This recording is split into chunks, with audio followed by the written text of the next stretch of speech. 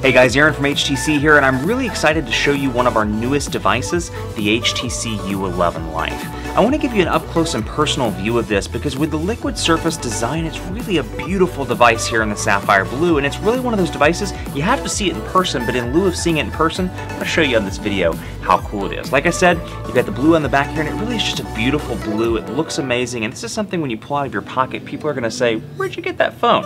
It's a premium device at half the price. Over here on the right spine, you'll see the power button, the volume rocker, and then up top you'll see your SIM card slot, and there's a micro SD card slot in here as well, so you can add an SD card if you so desire, and your USB Type-C port here at the bottom of the unit. It also has two 16 megapixel cameras, so you can get those selfies from the front and get photos of your friends and family as well with a 16 megapixel camera on the back. It's really a good looking device here in the Sapphire Blue, and this is something that is a game changer for HTC. Keep it locked on the social channels for more on the HTC U11 Life, and as always, thanks for watching. We'll see you next time.